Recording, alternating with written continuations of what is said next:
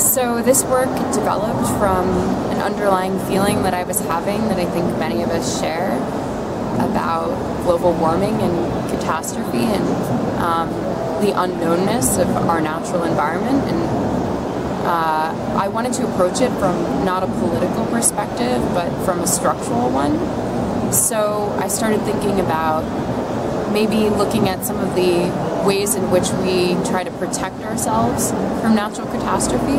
Um, and one of those ways is, of course, being inside. And being inside, what does that mean? These things are built from steel and from glass. Um, and they're such vulnerable materials. So I was curious about that and um, I started researching into the history of glass and its use in building. This led me to the international style, which led me to the glass house, to Philip Johnson's glass house. And after I was able to shoot there, I I started working with a compositor in post-production and also rotoscoping for myself um, to composite these rainstorms to the outside of the house and reinsert Johnson's body into the original house. And so I was really looking at how is compositing and which is a method of collage, how is collage linked to natural catastrophe.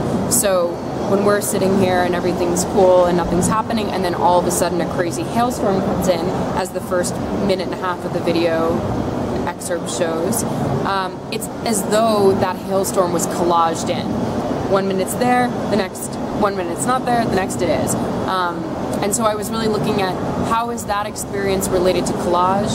Video editing is a form of collage, so I was thinking about this kind of single thread between the edit, collage, and, and um, catastrophe.